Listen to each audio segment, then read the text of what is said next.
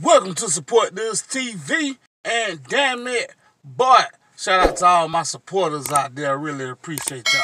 Now, a lot of fans, and you probably a fan of King Von, a lot of fans was mad when King Von autopsy picture was released. Now, those of you who don't know what an autopsy is, that's when you die, you go to the morgue, they cut on you and they look at you and they examine your body to find out what was the cause of death. If you were shot, they can pinpoint what bullet killed you and what gun it came from. Now, King Von's sister is fighting for a brother, which I commend her for that.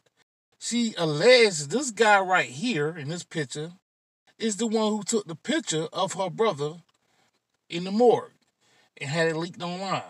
Now, this guy did this, that is, man, that is crazy. That's like beyond disrespectful.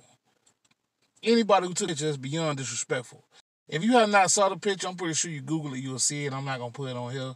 It looks terrible, man. I I, I cringe when I saw it. Like, oh man, like how how how could you do that dude like that? Like how can you take a picture of him like that? But anyway, his sister, man, she go on the wall, and I don't blame her. She said this guy right here posted the picture, and you know the morgue pretty much trying to protect him. He work at the morgue at the airport. Now,